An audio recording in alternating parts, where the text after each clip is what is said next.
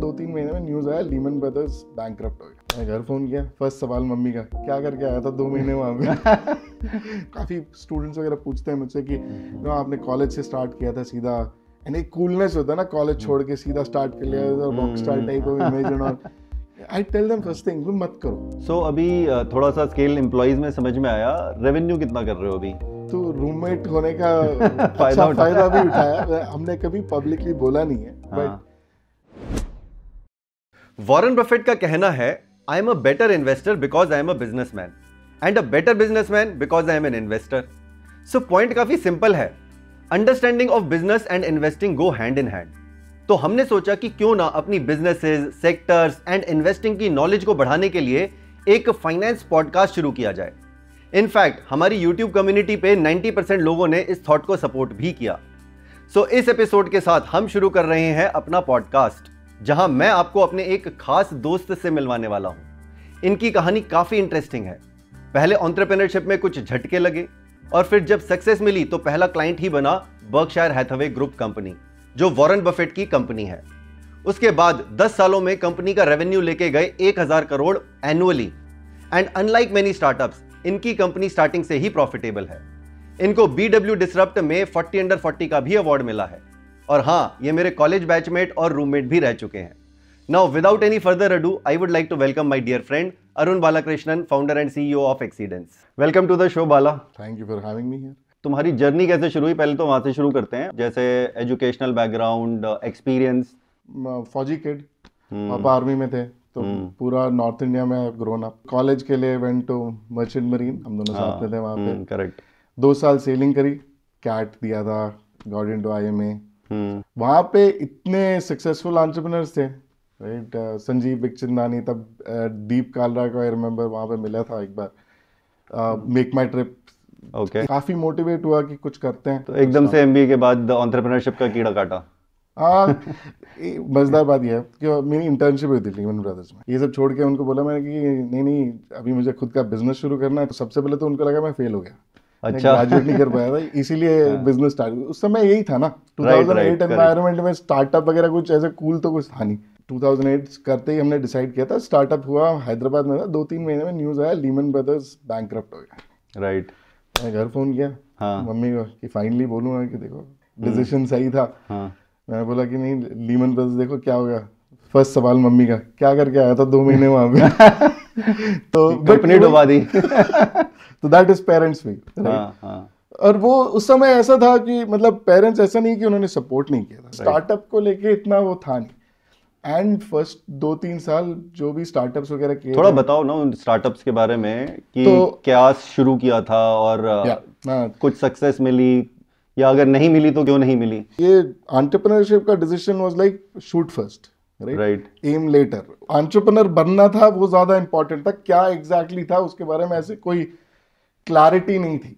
वॉनरप्रेनर थे basically very good word apt word तो उस समय ई कॉमर्स बहुत इट वाज अबाउट Right, थोड़ा right. चल रहा था। तो हमने सोचा था कि ईबे इंडिया में कोई ऑक्शन ऑक्शन तो करता नहीं है।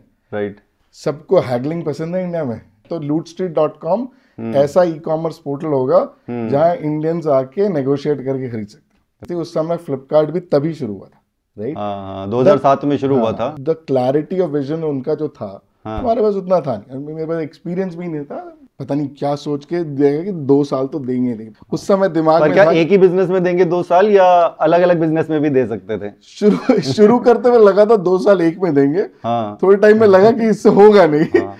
दिमाग में आइडिया आया कि मेक माई ट्रिप ट्रैवल के लिए जैसे है एयरलाइंस वगैरह के लिए। हम्म। ऐसा कुछ बनाते हैं जिससे इंश्योरेंस पॉलिसीज़ कंपेयर कर सकते हैं लोग वगैरह। तो वो लूट स्ट्रीट कितने टाइम किया? उसके फिर कितने टाइम बाद ये शुरू किया करीब आठ महीने नौ महीने अच्छा आठ नौ महीने में समझ में आ गया कि ये कहीं जा नहीं रहा है। हाँ वो दिखने लग गया था क्लियर और immediately after M B you are not earning ये, मेरा तो ये था कि मर्चेंट नेवी में सैलरीज वगैरह तो अच्छी थी। करेक्ट लोगों की सैलरी बढ़ती है। मेरी बिल्कुल घटी थी बिल्कुल हाँ, बुरी हाँ, तरह हाँ। तो बीच में तो जाके कैट की कोचिंग भी करी थी। मैं आइडेंटिफाई करा कि कहाँ पैसे दे रहे हैं तो ये चलो लीड जेन का बिज़नेस स्टार्ट करते हैं। लीड जेन मतलब लीड जनरेट करने का। हाँ तो होता क्या था हम्म। कोई कस्टमर आया देखेगा कि यू नो इंश्योरेंस पॉलिसी कौन सी अच्छी वगैरह। पॉलिसी बाज़ार काइंड सिमिलर पर हमने शुरू किया था तब बाकी फाइनेंस प्रोडक्ट्स भी थे लाइक क्रेडिट कार्ड भी कंपेयर कर सकते थे। पर उस समय ऐसा कुछ नहीं था कि एपीआईज थी काफ़ी कुछ मैनुअल हो रहा था। हाँ, बहुत कुछ मैनुअल हाँ, था। एंड हाँ। क्या नाम से था ये?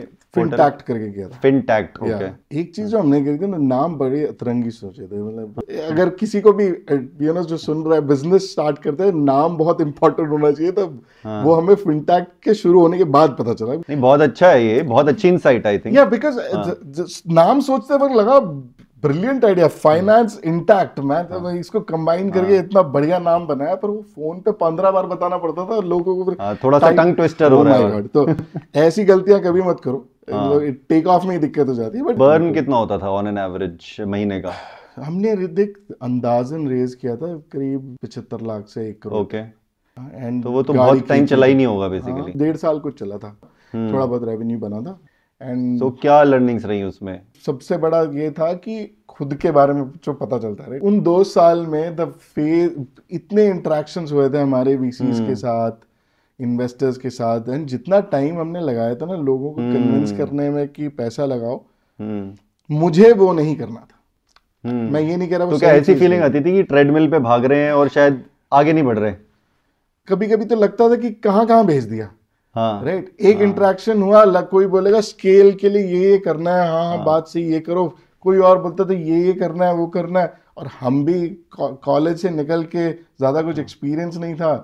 राइट तो डायरेक्शन कम थी स्पीड तो फिर भी बढ़ा लेते शायद। या कभी कभी जो होता है ना कि जो ट्रेडमिल का एग्जांपल दिया तुमने कि वो फिर भी ठीक है। हाँ, यू नो स्टेबल तो एक जगह तो हो। करेक्ट इधर उधर जाके जो हाँ। फ्रस्ट्रेशन आता है ना बिज़नेस अच्छा होता है जो भी कर रहे हो एक एक्सपीरियंस एक उसका वैल्यू होता है। करेक्ट सो कितने कभी कभी ना बिज़नेस स्कूल्स वगैरह में बुला के काफ़ी स्टूडेंट्स वगैरह पूछते हैं मुझसे कि हम्म, आपने कॉलेज से स्टार्ट किया था सीधा एंड एक कूलनेस होता है ना कॉलेज हम्म। छोड़ के सीधा स्टार्ट कर लिया rock star type of image and all I tell them first thing मत करो. हाँ। ये बोलने वाली बात होती है कि स्टार्टअप में जो एक्सपीरियंस है हम्म। वो बड़ी फर्म्स में कभी नहीं मिलेगा। उस एनवायरनमेंट में तो इवन अगर छोटा सा काम करो जो आसपास देख के सीखने को मिलता है। हाँ and at somebody else's cost exactly है ना? आपकी कॉस्ट तो नहीं जा रही है उसमें। यही दो तीन जो फेल स्टार्टअप्स हैं। आई एम श्योर मुझे पता नहीं चल रहा हो पर कुछ ना कुछ तो तभी भी सीखा। करेक्ट कुछ are the सब्जेक्टिव चीज़ें हैं जिनको आप इतना ऑब्जेक्टिवली डिफाइन नहीं कर पाते हो। फिर उसके आगे की कहानी। उसके आगे की तो मुझे एक कॉल आया। हाँ। बर्कशायर हाथवे इंडिया में इंश्योरेंस एंटिटी सेटअप कर रहा है। हम्म। अच्छा अलियांस से कॉल था। हम्म। कहते वो इंडिया का सीईओ ढूंढ रहे हैं। What what was your age at that time twenty seven 27 में you you you were getting considered हाँ तो एंड उन्होंने अ, बताया कि अजीत जैन के साथ इंटरव्यू है। हाँ। तो मैंने कहा कुछ हो ना हो अजीत जैन से मिलने ऑडियंस को एक बार बता दो कि अजीत जैन है कौन? बर्कशायर हाथवे ग्रुप के वाइस चेयरमैन है। ओके एंड पर्सनली uh, मैं बर्कशायर हाथवे से group company mister Warren Buffett का हमेशा से एक एडमायर रहा हूँ। हम्म उनकी फिलोसफीज वगैरह का। तो ये एक चांस था मिलने में कुछ हो ना हो उनके मिल के आ जाएँगे राइट हाँ। फिर पता चला कि बर्कशायर हाथवे में एक कंपनी है गाइको यूएस में। उनका बिज़नेस मॉडल है direct to consumer so Ajit का विजन था to set it up in India okay किस्मत की बात होती है हाँ। तो इस समय इंडिया में इंश्योरेंस इंडस्ट्री प्राइवेटाइज हुई थी 2002 में. हम्म. इंटरनेट बैरली इतना ज़्यादा कुछ था नहीं. तो जितने लोग क्लेम कर सकते थे इंटरनेट इंश्योरेंस एक्सपीरियंस वो वैसे ही बहुत कम था. Right place right time that's the story of my life तो था कि एफडीआई लॉस चेंज होंगी वगैरह पर वो रियली really चेंज नहीं हुई। बिल्कुल from a profitability perspective also उतना ट्रैक्शन नहीं दिख रहा था। तो तब हमने डिसाइड किया कि इसको वाइंड डाउन करते okay so Berkshire decided to shut down वो वाला बिज़नेस डाउन करने का डिसीज़न हुआ। ओके फिर उसके बाद uh, तो कैसे उस- स्विच हुआ? तो उस समय मैंने उनसे बात करी बख्शा हाथवे के साथ कि अगर हमने ऐसी कंपनी सेटअप करी हम्म। जिससे सर्विसेज़ दे सकते हैं IT services analytic services hmm. तो, तो उन्होंने कहा कि हाँ ठीक है यू नो छोटा सा प्रोजेक्ट के साथ एक्सपेरिमेंट किया जा सकता है। एंड हमें बर्कशर की ग्रुप कंपनी से एक दो कॉन्ट्रैक्ट मिले किस टाइप के कॉन्ट्रैक्ट्स थे एक्चुअल सर्विसेज़ थोड़ा अंडर राइटिंग सर्विसेज़ होते हैं। ओके आईटी प्रोजेक्ट था एक छोटा सा। Okay so kind of KPO kind of outsourced projects यहाँ पे अपॉर्चुनिटी था टू डू समथिंग हाँ। डे वन से प्रॉफिटेबल है क्योंकि कॉन्ट्रैक्ट था okay. शुरू करते वक्त। कितने टाइम का था ये कॉन्ट्रैक्ट तब लॉन्ग टर्म का कॉन्ट्रैक्ट किया था उनके साथ एटलीस्ट तीन साल का। ओके नाइस ठीक है? वो कस्टमर होंगे। That was the relationship dynamic change हो रहा था। नाउ ये जब शुरू करने की बात आई तो ठीक है सर्विसेज़ बिजनेसेस इतनी हुई हैं। अभी इंडिया से आउटसोर्सिंग केपीओ बीपीओ आईटीओ तीस साल से चल रहा था। राइट तो बीस साल तो एटलीस्ट हो गए थे। हाँ। तो हम क्या अभी too late to the party वाली बात होती है ना हाँ, कि हाँ, हाँ, फिर? कर क्या रहे हैं? तब हमने सोचा कि वही है ना कि stick to what you know जो आता है वही करो राइट तो हम्म, इतनी कंपनीज़ थी जो पूरा हॉरिजॉन्टल जाते थे आईटी सर्विसेज़ बोलो तो multiple industries right hmm, BPO बोलो तो मल्टीपल इंडस्ट्रीज़ एंड हमेशा ये था कि लेबर कॉस्ट आर्बिट्राज इंडिया में सस्ता होता है इसलिए काम दो राइट राइट ना हमें सिर्फ़ इंश्योरेंस आता था। हाँ। उसके अलावा कुछ आता नहीं था। दूसरा इस तरफ़ से एक्सपीरियंस ये था कि मतलब हम्म। एक्सपर्टीज होनी चाहिए। सिर्फ़ सस्ता है करके नहीं होना चाहिए। सो so, बस एक वर्टिकल टारगेट कर लो। हाँ तो हमारा ये गोल था कि हम एक ही इंडस्ट्री में करेंगे काम। हम्म। हम हमारे साथ काम करो अगर हमारा काम पसंद है। हम्म। अगर हम तुम्हारा काम जानते हैं हम वैल्यू ऐड कर सकते हैं। हम्म। पैसे कम है या। कॉस्ट कम है वो इंसिडेंटल है। ओके वो वैल्यू प्रोपोजिशन नहीं है। वो हम्म। बेनिफिट है वैल्यू प्रोपोजिशन होना चाहिए एक्सपर्टीज है। राइट हाँ so you went vertical hundred percent vertical तो लोग बोलते हैं हर Infosys you know. Genpact all these amazing companies उनमें B F S I vertical होता है banking financial. Services and insurance हम कहते हैं हम बी एफ़ एस आई नहीं सिर्फ़ आई है हमारा बिलीफ तब था कि यू नो इंडिया में बहुत टैलेंट है। वो- वो सिर्फ़ यू नो कॉपी पेस्ट काम करने के लिए नहीं है। करेक्ट बहुत वैल्यू एडेड वर्क डाल सकते हैं पर उसके लिए इन्वेस्टमेंट करना पड़ता है। तो उस जर्नी से शुरू किया। एक सबसे बड़ी लर्निंग है एंटरप्रेन्योरशिप रिलेटेड मेरी कि टाइमिंग बहुत ज़रूरी है। हाँ। एंड तुम बहुत हार्ड वर्क कर सकते हो तुम हाँ। बिल्कुल भी नहीं कर सकते हो पर टाइमिंग का प्लान हाँ। तुम्हारे कंट्रोल में नहीं है। द ओनली थिंग जो तुम कर सकते हो कि गेम में रहो। हाँ, जितना correct, लंबा गेम में रहोगे. ऑड्स ऑफ़ अपॉर्चुनिटी इंक्रीज बिल्कुल। हमारे साथ हमारी अच्छी किस्मत थी वो अपॉर्चुनिटी बहुत जल्दी मिली। हम्म। तो हमने शुरू किया था एक्सीडेंस दो तीन महीने में ही हमें पता चला कि बर्कशायर हैथवे ग्रुप में एक नई इंश्योरेंस कंपनी खड़ी हो रही है। ओके एंड वो अपनी टीम बहुत लीन रखेंगे। वर्क करेंगे। तो हमें वो opportunity milli. But you were prepared to take that opportunity that is very important अगर वो बर्कशायर का स्टिंट ना होता हाँ। राइट उससे पहले का ना होता एंड जितने भी कस्टमर तो शायद हमें वो अपॉर्चुनिटी मिलती ही नहीं। आई आई मीन मैं सबको बोलता हूँ मैं दस साल पीछे गया मैं फिर से एक्सीडेंट शायद ना रिक्रिएट कर पाऊँ जस्ट बिकॉज़ अपॉर्चुनिटी हाँ। हो। ना करेक्ट कैसे भी हो सकता है राइट बट हमें वो अपॉर्चुनिटी मिली उसको पकड़ के हम दौड़ने लगे। हम्म तो दौड़ने की एक बार थोड़ी स्टोरी बताओ कि वो ग्रोथ स्टोरी कैसी रही कि कोई स्पाइक्स आए मतलब So- पिछले दस साल की कहानी में कि कोई क्या ऐसा साल था जहाँ two X three X five X हो गया? यार वो शुरुआत के दो तीन साल में हुआ था। हाँ। उसके बाद हमेशा थर्टी टू फिफ्टी परसेंट पे ग्रो हुए हम लोग। ओके तो जब मुझे पर- थोड़ा सा रेवेन्यू का आइडिया दोगे पहले साल में कितना गया था रफली सो पहला साल करीब छह सात महीने होगा। छह सात महीने में? नहीं नहीं कंपनी शुरू हुई थी मई जून में। ओके तो हम कैलेंडर ईयर चलता है। हाँ तो हम लोग जान टू दिसंबर ही देखते हैं राइट तो हाँ। तो फ़र्स्ट सिक्स मंथ था करीब six hundred thousand dollar oh wow हाँ हाँ प्रेटी गुड हाँ। फिर नेक्स्ट ईयर था करीब ढाई मिलियन हाँ। फिर छः ओके फिर पंद्रह। ओके फिर उसके बाद बीस फिर ओके से फिर हाँ मतलब तीस से पचास परसेंट ग्रो करते रहे हर साल।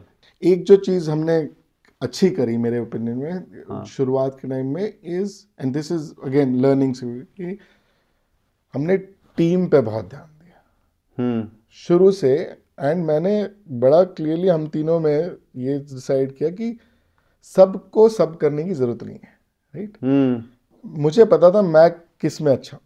हम्म। मैं which sales business development okay. Deal making okay. Overall you know team you're a pretty sales guy basically हाँ। या एंड आई एम दो चीज़ें can build and manage a good team okay. Team को के साथ करना ये दो चीज़ें हैं बट फोकस right डिटेल्स की जहाँ बात आती है ऑप्स पे आते है बर्बाद हूँ मैं राइट मतलब मुझे दे दोगे तो चीज़ें बर्बाद हो जाएँगी एंड उस मामले में मनीष अमित एक्सलेंट है। Okay. उनको कुछ भी दे सकते कितने भी chaos हो अमेजिंग सो यहाँ पे एक थोड़ा सा मैं स्ट्रक्चर समझना चाहूँगा कि हाँ जो बाकी के तुम टीम मेंबर्स की बात कर रहे हो आर दे को फाउंडर्स और they are part of your founding member team so हम तीनों are the major shareholders of the business okay मैंने शेयर होल्डर्स बोला एंड। को फाउंडर्स नहीं बोला. हाँ.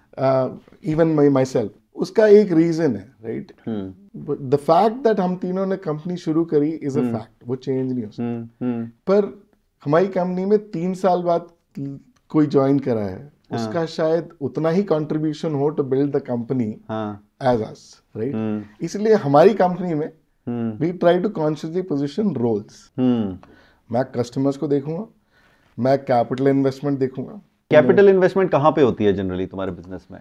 शुरुआत में कंपनीज़ के डेज़ में expense is the only certainty revenue is not the right दूसरा हमारा बिज़नेस का मेरा फिलॉसफी एटलीस्ट है कि पी एंड एल प्रॉफिट से कोई फ़र्क नहीं पड़ता। कैश प्रॉफिट होना चाहिए। करेक्ट तो कैश साइकिल हम्म। कब सिंपल चीज़ है। लाइक हाथवे से तो रिलेशनशिप था। तो हमने उनका कहा था कि हमें इक्विटी नहीं चाहिए। हमें कोई लोन नहीं चाहिए। ओके हमें तीन मंथ्स रेवेन्यू एडवांस में ठीक है? हम्म।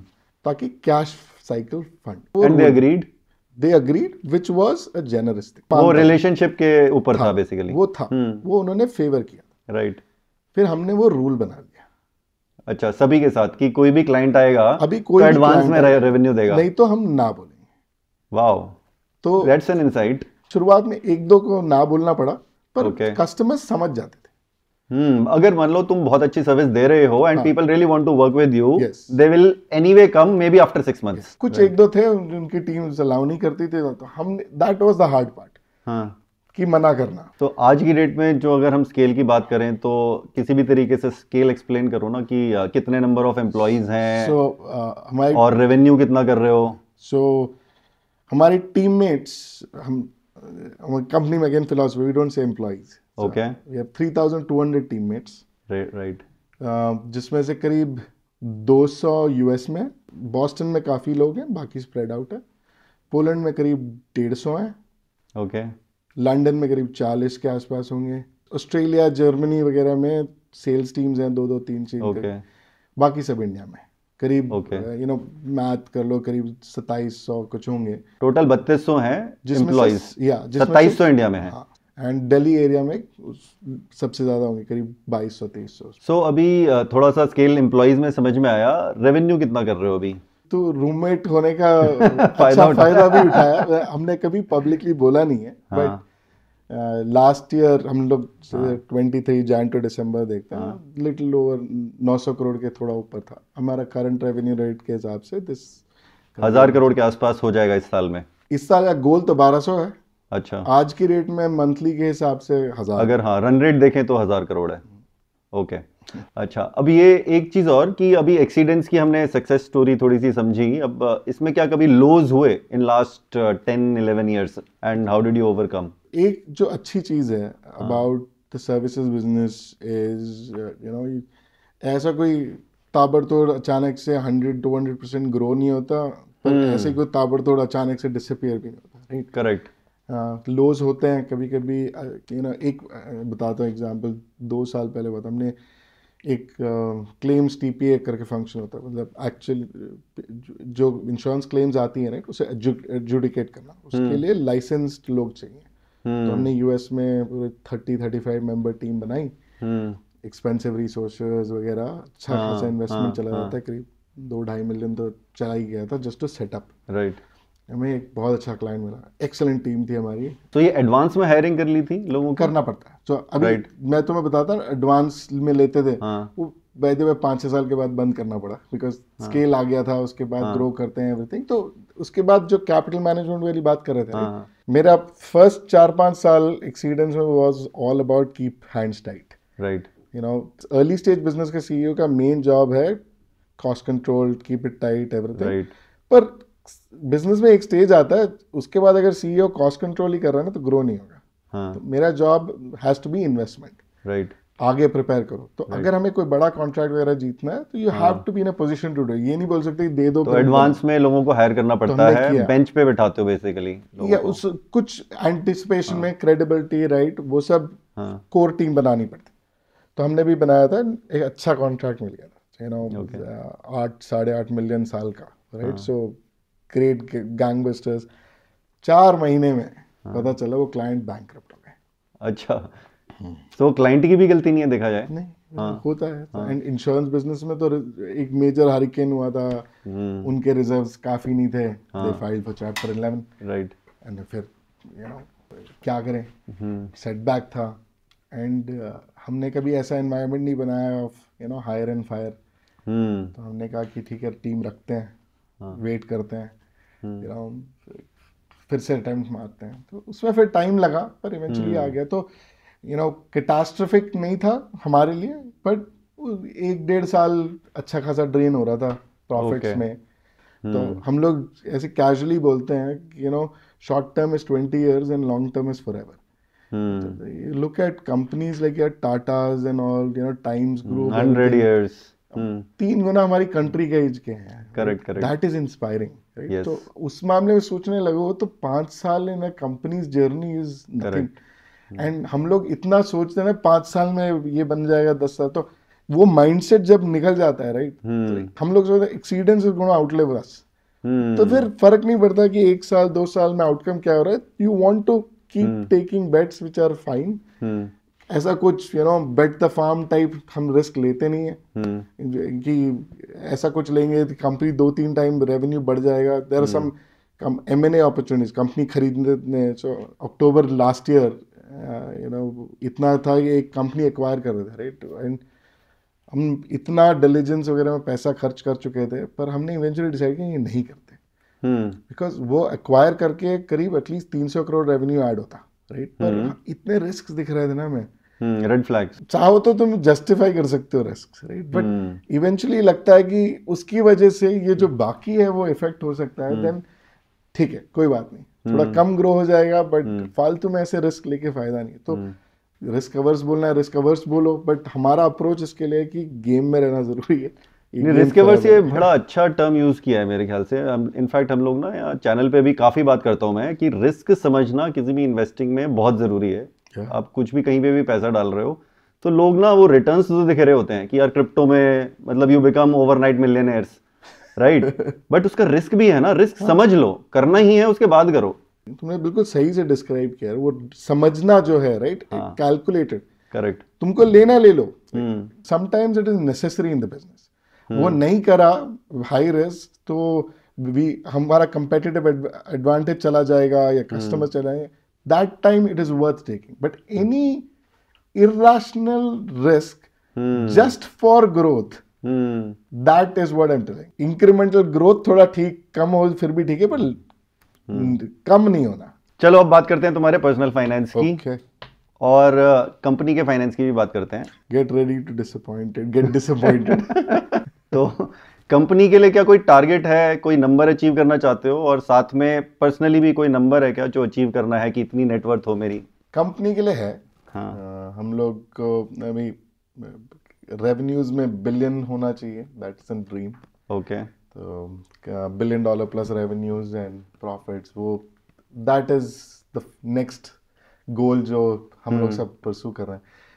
पर्सनली देखो यार थोड़ा फिलोसफी वगैरह भी मैं बताऊँ मैं पर्सनली मेरे लिए I like the game of making money hmm तो इट्स नॉट ये नहीं है कि कोई नंबर मिल गया खुश होके वो नहीं है दिमाग में। द फैक्ट दैट बिज़नेस बनाना वो बढ़ाना या कुछ और लेके वो ग्रो करना गेम ऑफ़ विनिंग या and money is a good mathematical वो जिससे पता चलता है हाउ स्कोर कार्ड है। हाँ हाँ हाँ। तो नंबर नहीं है जो चेज कर रहा हूँ। तो हर दिन क्या मोटिवेट करता है बेसिकली क्यों जाते हो ऑफ़िस हर सुबह? मुझे काम बहुत पसंद है जो हम कर रहे हैं right on a day to day basis काम काम नहीं लगता है? नहीं बिल्कुल भी नहीं। अमेजिंग क्लाइंट्स टीम सबके साथ मतलब जेनुअनली मुझे आज की डेट में कंपनी में जो है वो ज़्यादा मज़ा आ रहा है दैन जो पहले के दिनों में होता था। पहले के दिनों में चिक चिक ज़्यादा होता था राइट हाँ हाँ। बट आज की डेट में एवरी डे कंपनी उस साइज़ की है जो मैंने कभी नहीं किया। तो challenge of hundred to billion वो करना एक अलग चैलेंज लगता है और वो एक्साइटिंग है। एंड टीम के साथ ग्लोबली तो काम में जेन्युइनली मज़ा आता है राइट तो that's what really gets me up and everything अच्छा but as I know that you are not born in money right. कि मम्मी पापा की तरफ़ से हेरिटेज वाला पैसा तो नहीं मिला है है ना? तो पहले पैसे नहीं थे। अब हैं। Has it change you has money change you as a person पहली बात तो ये तुम भी जानते हो। You know business man are a class of asset rich cash poor people I think specially first generation entrepreneurs like आज से I had a very comfortable living parents वगैरह ने कंफर्टेबल लिविंग दिया था एवरीथिंग बट वो inheritance for a business वैसा नहीं था। हमने ऐसा सोचा है हमेशा मी एंड माई वाइफ तो uh, कि. हम पीरियोडिकली जो जो लाइफ स्टाइल गोल्स होते हैं थोड़ा पीरियोडिक सेविंग्स या यू नो डिविडेंड्स हो या you know some lump sum type पर ऐसा कि हमने कभी ऐसा कोई बिग नंबर नहीं चेस किया जिसके लिए लगा कि कि बिज़नेस का एक पोर्शन बेच दो वो पैसे ले लो। हमने वो नहीं लिया। पर हमने एक फिलॉसफी लिया था about expenses and life style expenses and lifestyle में फ़र्क है। एक एग्जांपल अगर मैं दूँ तो there was a time you know इतना इंटरनेशनल ट्रैवल वगैरह है right? मैं इकोनॉमी में ही फ्लाई करता था ओके? फिर कंपनी कुड अफोर्ड तो पीपल ने यू शुड फ्लाई बिज़नेस मैंने कहा company can still afford it right पर अगर मुझे पर्सनली अपने पेरेंट्स को वो या ले जाना होगा। मैं शायद फिर भी इकोनॉमी करूँ। तो हाँ। हमने कॉन्शियसली तब तक वो चेंज नहीं किया जबकि एट वन पॉइंट जिस दिन हमने किया हाँ। कि फ्लाइंग बिज़नेस उसके बाद ऐसा होना चाहिए कि वही करो।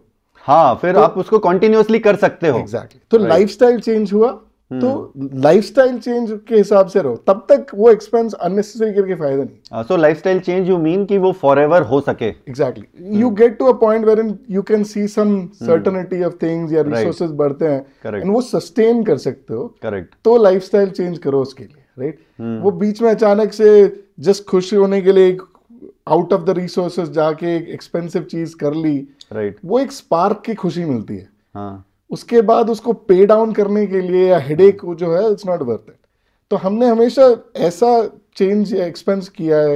इन यू नो गुड फॉर्चून रहा है and you know I am not trying to be arrogant हाँ। पर हमने जैसे अगर बड़ा घर या गाड़ी ये सब चीज़ें की पर हमेशा एक फिलॉसफी रहा है कि ऐस, ऐसा करें कि कल को कुछ हो भी जाए हम्म। तो ये चेंज ना करना पड़े। So as a person saver बोलोगे अपने आप को या स्पेंडर बोलोगे पर्सनल लाइफ में हाँ। मेरे पेरेंट्स बोलते हैं मेरी वाइफ बोलती है मेरे हाथ में मेरे हाँ। को पैसे देते नहीं है मैं खर्च देता हूँ मेरा so who manages personal finance तो the house personal finances of the house everything you know regular kids का कॉलेज सेविंग वो सब माय वाइफ देखती है हाँ जो इन्वेस्टेबल सरप्लस बोलते हैं हम लोग कि हाँ। यू नो लम सम में अगर कोई बोनसेस हैं या समथिंग डिविडेंड्स और you know excess savings I am good with some of these things so Divya lets me manage that so जो एक्सेस आता है वो मैं देखता हूँ। ओके पर रेगुलर कितना उसमें आएगा वो पूरा दिव्या कंट्रोल करती है। So I know that you have two kids yes तो बच्चों के लिए कुछ रेगुलर सेविंग्स इन्वेस्टिंग करते हो या मतलब यहीं से ये सोचा है कि ये जितने भी हमारे एसेट्स बन रहे हैं इनको ही मे बी सेल ऑफ़ करके कुछ हम कभी कर नहीं, इस मामले में मैं मैं फुल क्रेडिट टू दिव्या। सबसे पहले हमने जो सेविंग स्टार्ट की थी यूएस में एक है कॉल्ड 529 कॉलेज फंड तो अगर उसमें जो भी पैसा डालते हो and if you use it for education related expense तो any growth is tax free okay तो हमने सबसे पहले जो सेविंग्स उसमें स्टार्ट किया ओके रिगार्डलेस पर बिफोर कुछ भी किया वो शुरू किया। कि हमारे पेरेंट्स ने one of the best thing they gave us was good education या तो हमारा वो बेसलाइन है कि कुछ हो ना हो ये हम्म। सबसे पहले हो तो दैट वाज ऑलवेज वो फिलॉसफी हाँ, वो तो कोई ले नहीं सकता उनसे बेसिकली Exactly. हाँ पैसा तो इधर उधर हो भी जाए।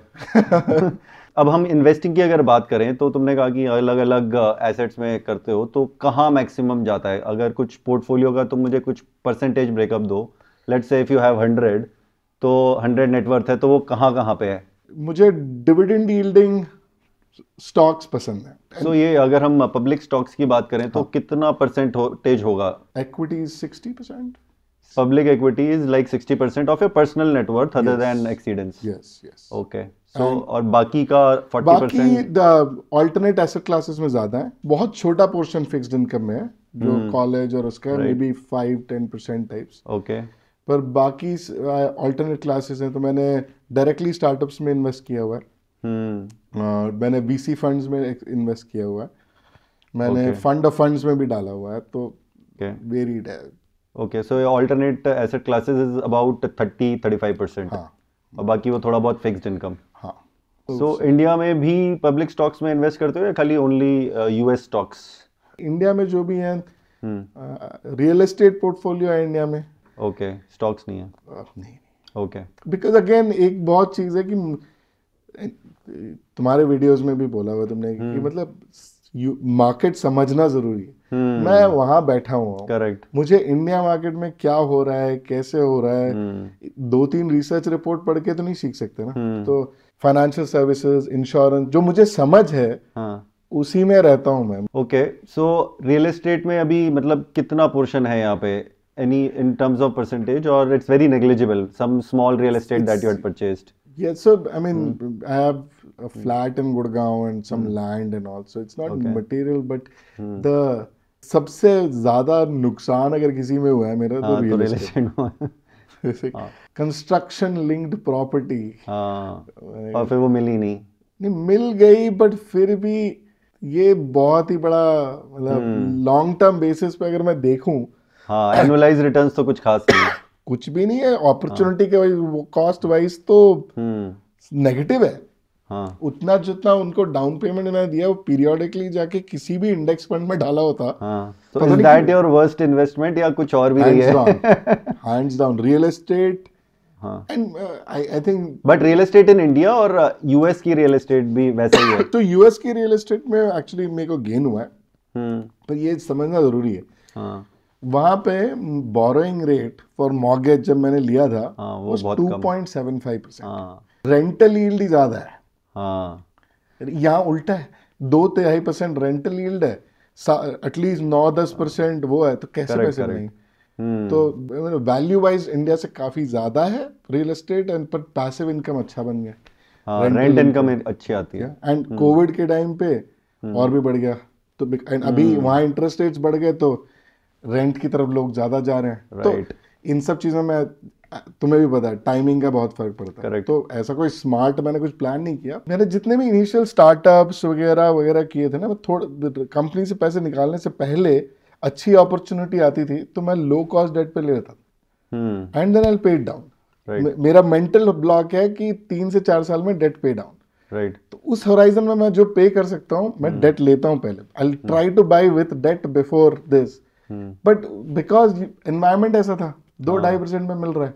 हम्म। पर अगर सात आठ परसेंट में मिल रहा है तो क्यों लोगे? हाँ करेक्ट तो वो हाँ वहाँ पे तो बहुत सारे रियल एस्टेट इन्वेस्टर्स हैं रॉबर्ट कियोसाकी और वो सब लोग यही बोलते हैं कि आपको डेट मैनेज करना आना चाहिए then you can make money in real estate तुम्हारे वीडियोस हैं हर टॉपिक पे हम्म, राइट अच्छे डेप्थ में जाना पड़ेगा। मतलब जस्ट एक देख के तो कोई एक्सपर्ट नहीं बनता राइट दैट्स ट्रू सो अभी ये पूरी पर्सनल फाइनेंस और इन्वेस्टिंग जर्नी में लेट्स से लास्ट दस सालों में when you are in the money ठीक है? तो उसमें क्या लर्निंग्स हुई हैं? मतलब अब चाहे वो फेलियर से हो या सक्सेस से हो। द वन बिगेस्ट लर्निंग है कि कोई भी ऐसा मत करो जिससे नुकसान से बहुत दिक्कत हो जाए। हम्म। बिकॉज़ दैट हमारा इट्स आवर साइकोलॉजी और वट एवर वी हार कुछ नुकसान होता है वो बहुत हर्ट लगता है। हम्म। हाई का यूफोरिया जल्दी चला जाता है। हम्म। अचानक से कुछ बना है वो यूफोरिया रहता है थोड़े टाइम में चला जाता मतलब जब कुछ नुकसान टाइप होता है तो it stays a lot hmm. और ऐसा कुछ है जो तुम्हें पिंच करेगा तो वो उसे अवॉइड कर लो। मतलब don't risk get too risky on this and I think मेरे ख्याल से अब यहाँ पे हम रैप अप कर सकते हैं। मैंने काफ़ी ज़्यादा तुम्हें पोक किया काफ़ी क्वेश्चंस ऐसे भी शायद पूछ लिए जो तुम शायद आंसर नहीं करना चाहते थे। ठीक है?